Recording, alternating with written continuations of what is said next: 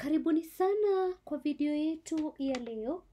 Leo tutazungumzia kuhusu nomino. Wakati mwingi katika mazungumzo tukisahau majina halisi, huwa tunatumia yale ya jumla.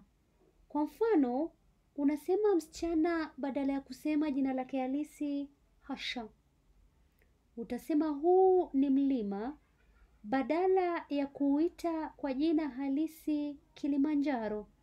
Hapa Asha na Kilimanjaro ni nomino za pekee, nazo msichana na mlima ni nomino za kawaida. Aina hizi za nomino ni mojawapo wa zile tutazungumzia leo. Nomino ni maneno ambayo hutaja jina la mtu, kitu, mahali kama vile Uganda, dhana kama upole au hali fulani. Kuna aina sita za nomino. Kuna nomino za pekee, kawaida, kitenzi jina, wingi, tahania na nomino za jamii. Tuanze kwa nomino za kipekee. Hizi hutaja kitu kwa jina lake kamili. Ni hicho tu pekee duniani. Kwa mfano kama pale darasani kuna ali wawili, ali wote utapata ni tofauti kihulka, yaani kwa tabia zao. Kwa hivyo kila mmoja wao ana upekee wake. Hizi huanza kwa herufi kubwa kwenye sehemu yoyote ile katika sentensi, iwe mwanzoni mwa sentensi au hata katikati. Katika nomino zote hizi ndizo pekee huanza kwa herufi kubwa. Mfano wa nomino za pekee ni kama Kiswahili, Misri, Ali na nyingine nyingi kama hizo. Kuna nomino za kawaida au jumla. Hizi hutaja kitu bila kukitambulisha kwa jina lake halisi.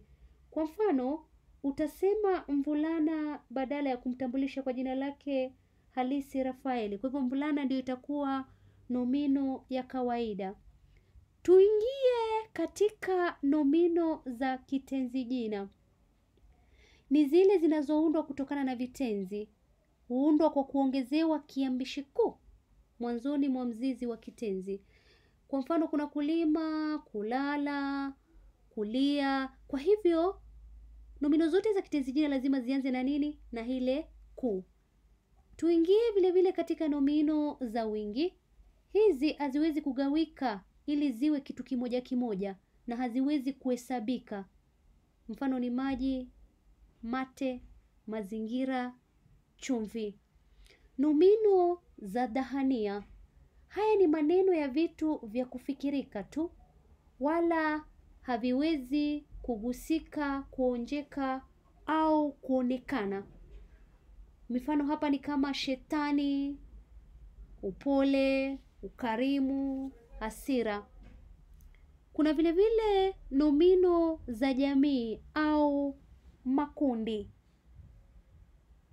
Zinawakilisha vitu vingi katika jina moja, yaani hutaja jumla ya vitu vingi.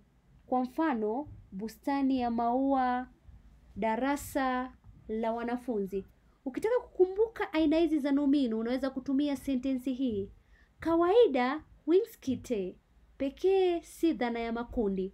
Utaona ukirudia sentensi mara kwa mara, mara kwa mara, utakumbuka aina zote, kawaida, wingi, kitenzi jina, pekee, dhahania na makundi. Bainisha aina za nomino katika sentensi hizi. Biwi la takataka lilitiwa moto na bawabu. Maziwa yaliyoletwa jana yamenywewa na paka. Kufagia majilisini kumekuchukua muda gani? Kulala kwenye darasa shuleni ni hatia. Kwa hivyo katika sentensi hizi utapata kuna nomino za makundi, hata si za ni moja tu ya makundi ni biwi la takataka. Kuna nomino mbili za vitenzi jina, kuna kulala na kufagia.